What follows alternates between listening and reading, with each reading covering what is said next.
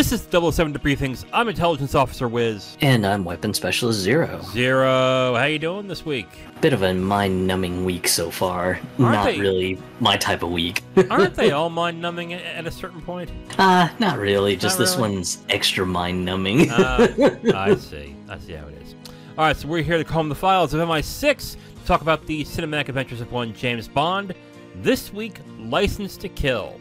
Zero, I, I gotta say, for some reason, I've been getting a lot of things on social media about Bond movies. Maybe it's all the posts about Bond movies I'm doing. I don't know. That, that might be the case. Not only have I been seeing posts on Bond movies, we've also been getting comments on our episodes when we do the Bond movies that there's actually a lot of people who are fans of Timothy Dalton as Bond. Did you know about this? Because, uh, again, uh, I'm going through all the Bond films for the first time, and I kind of thought that Dalton was considered kind of a eh kind of Bond, but it sounds like there's people who are big fans of him. yeah, he's always been sort of the dark horse Bond, which isn't a bad thing. It's not a mark against him. No. I think the reason he's a bit of a dark horse is because after sort of the silly slapstickishness that we saw with Roger Moore, Dalton was sort of like a fresh breath of air. It was like, oh my god, he's he's kind of back to brass tacks sort of thing. This is fantastic. And of course, because Dalton unfortunately got cut short from portraying any further portrayals of Bond, I think he's still quite beloved because of how good his uh, portrayals have been. Yeah, I, I definitely have noticed that with some people, the fact that he's done very little of them, he's only done two, that people give him a much a longer leash when it comes to maybe the issues that some of his films had. But we watched the, the Living Daylights, and that wasn't that bad. And, well, we'll get into License to Kill. But, um, yeah, I was just, just pleasantly surprised how a, a lot of posts I've seen was, oh, what's your favorite Bond? And I'm seeing a lot of Daltons. I'm like, wow, I would have never thought that. All right, so let us get into our mission objectives, where we go through certain elements of the James Bond films and discuss them piece by piece. And let's start with 007, which is James Bond, played by Timothy Dalton. This one is interesting. He's actually got a little bit more emotion, especially with kind of the events of in the beginning of the movie. It was kind of disarming in a way because I was just like, all right, Timothy Dalton back as kind of a cold, calculating sort of Bond. I kind of know what to expect. It's been a while since I've seen this one, so I could be dead wrong. And then, of course, kind of the tragedy that happens in the beginning of the movie. I was like, oh shit. He's actually got a little bit of emotion in him this time. Oh shit. Yeah, that was the thing that startled me at first too. Was like, wow, this is an emotional Bond, which I don't think there really has been any Bond that's been that emotional. I, you might say that at the end of On Her Majesty's Secret Service, that would be Lazenby, and in the beginning with Connery and Diamonds Are Forever, there was a little bit of that, but that was very little on both ends. But to see a Bond who is uh, clearly overly emotional throughout the entire film was a pretty big breath of fresh air to this one because it actually gives him more character in this movie. Yeah, I felt so too. He felt a little bit more humanized, and again, it's it's definitely not a bad thing because just they don't overplay it too much. He's emotional when it comes to some of the emotional stuff. He gets serious and and just right to it when he needs to get serious, and it's kind of a unique balance that they don't quite overdo. Kind of like with uh, what we saw towards the latter part with the Roger Moore movies, where they would kind of play up the womanizing, play up the goofy one liners and the slapstick and things like that. Yeah, I, I would agree with you there as well. I do like the fact that Bond has got a singular focus in the movie. Like, there's not a lot of wordplay, there's not a lot of jokes, there's not a lot of uh, flirtation involved with any of the characters in the movie.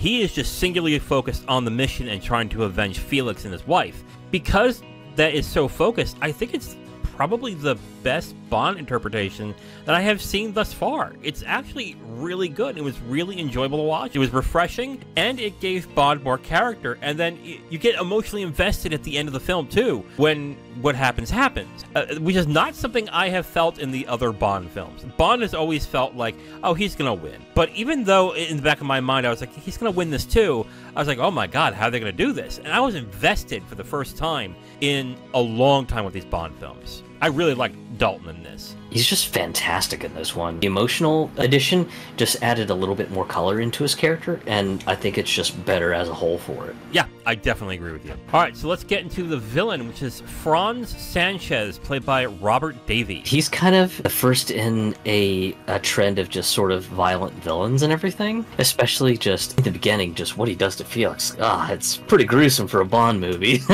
Yeah. And then, of course, like some of the other people he, he just kind of knocks off, he's equally as violent as well, too. So just, it's kind of a continuing trend of just, we need to really overcorrect for the Roger Moore era of things, too, because towards the end of the Roger Moore stuff, it was just kind of, hey, let's let's keep on going with these Saturday morning cartoon mad scientist sort of like super villainy villains and things like that. As far as things go, I think his bit on just where trust is like the most important value to him is kind of interesting because it sort of plays into the South American drug lord machismo and honor sort of themes that you've got going there. I looked at Sanchez as someone who is ruthless as, as Max Zorin and Blofeld, but with zero of the cheek. This guy's brutal. This guy is dangerous. And he's really the only villain that I have watched from Bond, maybe with the exception of Red Grant or Goldfinger, where he actually feels like a threat. He feels like someone who's dangerous and that Bond has to be careful with. Whereas the others, uh, we've talked about uh, with other movies as well, they're just kind of cookie cutter, mad scientist, megalomaniac kind of villain. This does not feel like that. Another thing that this film does very well is that it sets up characters that make this guy dangerous. The murder of Felix's wife and nearly killing Felix, and the way he treats his girlfriend, all points to him being utterly ruthless and careless. Is just a character that you want to fucking hate. And that is perfect for this villain. He's heartless, he is he's got charisma and smarm, and he's entertaining and it's satisfying when he's finally put down. He might be the best villain so far for me. Like I think he's even better than Goldfinger. I think he's excellent. I would say he's definitely one step above Goldfinger. I think you put it best. They set him up so early in the movie that he's just a really, really, really fucked up person, and you're just like, God, he is just fucking scum. Abusing his girlfriend too. All these little things just incrementally just say,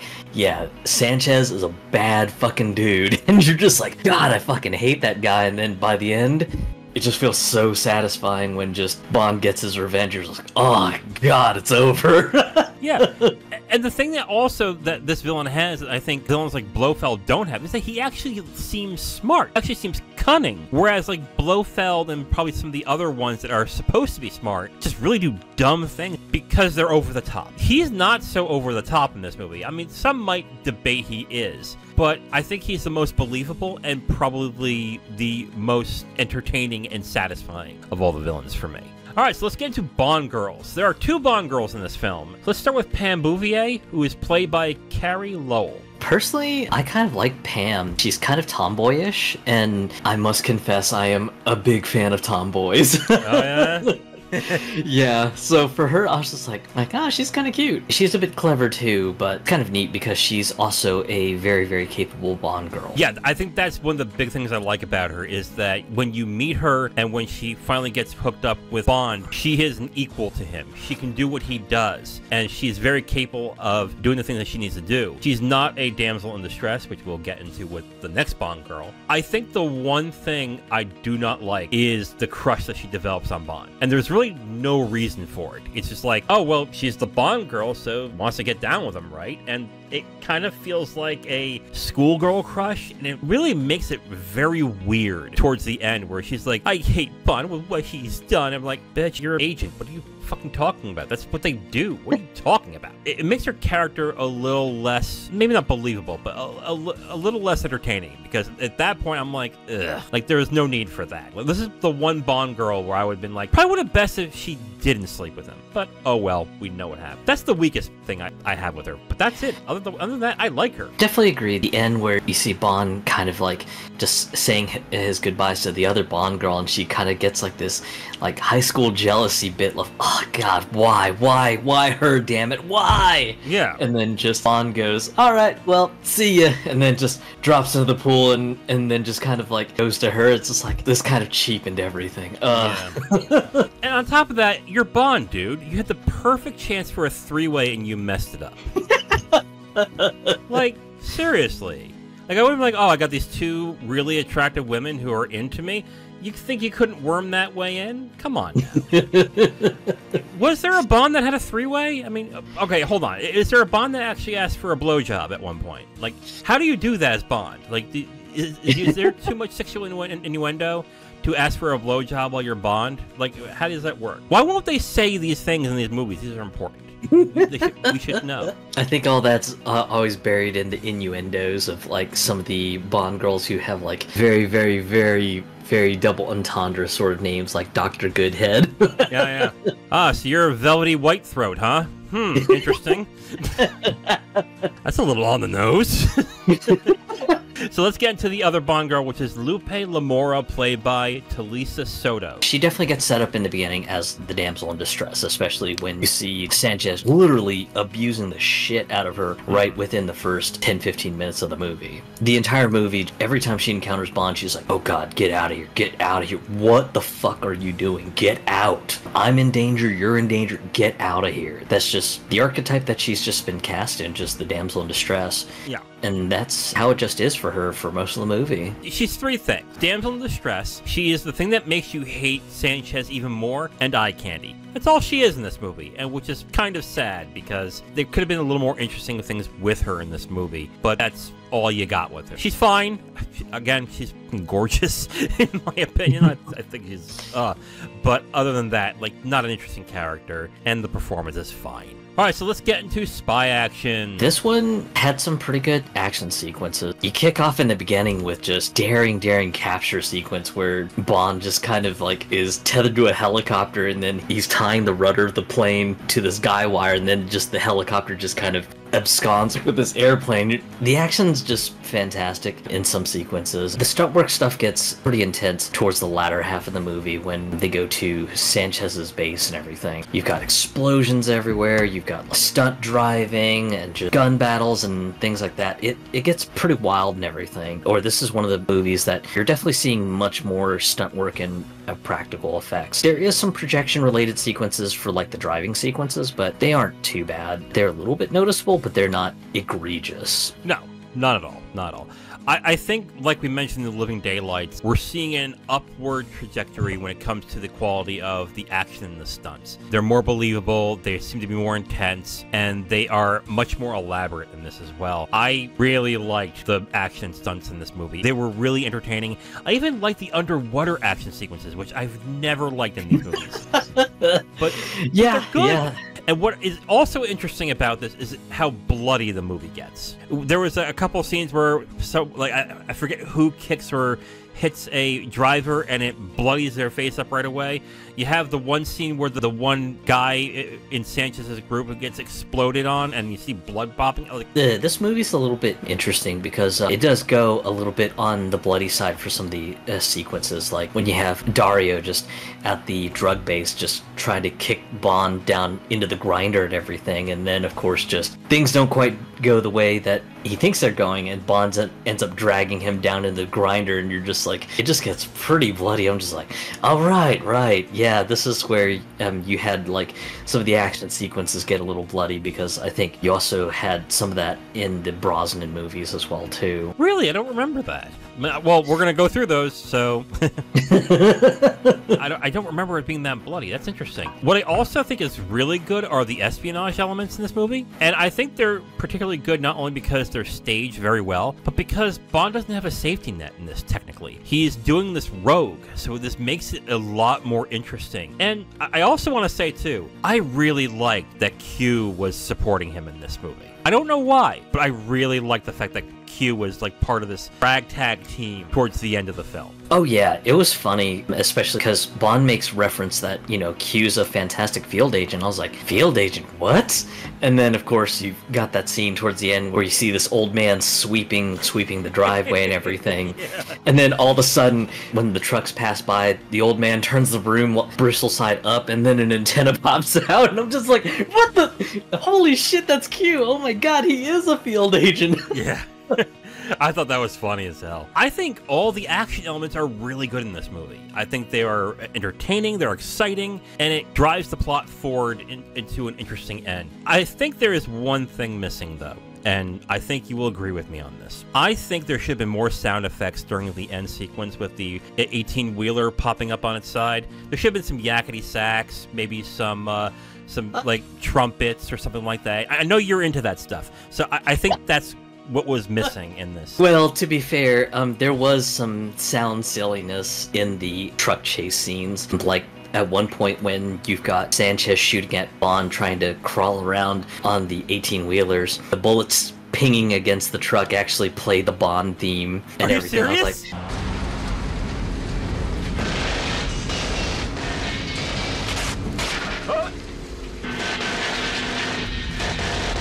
yeah, dead serious. I was just like, hold, hold the phone, and I had to rewind the scene a few times. I was just like, motherfucker.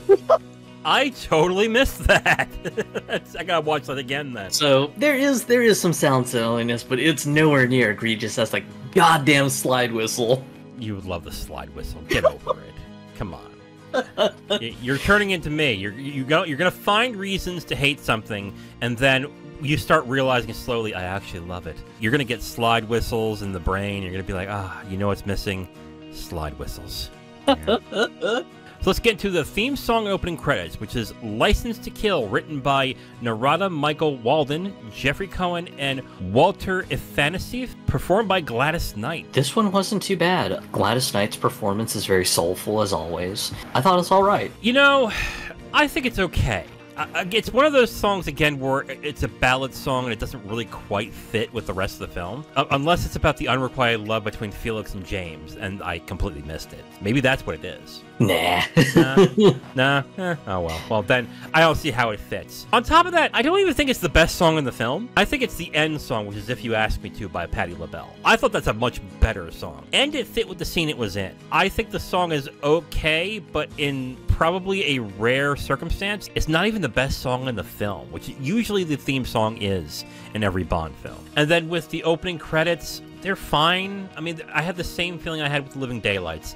It's just a reuse of tropes from other Bond films. It seemed like an homage to stuff like Goldfinger and uh, maybe The Living Daylights. But yeah, I mean, the opening sequence, it was fine. I mean, Yeah. it wasn't terrible. It was just fine. Yeah, it was it was perfectly serviceable, as I would say. All right, Zero. Conclusion time. Mission accomplished. Timothy Dalton provides a fantastic performance. The addition of an emotional range to Bond in his performance, I think, just makes for a fantastic portrayal of Bond just overall. You've got much more fantastic action sequences, and the stunt work's fantastic. Overall, the sort of build up on the villain just making him just much and much and much more nefarious as the movie goes on, and then just when he gets his comeuppance, it just feels like a pressure valve being released, and just you're satisfied with Bond getting his revenge. It, oh, it's just nothing but exquisite. It's a real damn shame too, because as mentioned in last week's episode, just due to contract complications, Timothy Dalton his time expired as Bond, and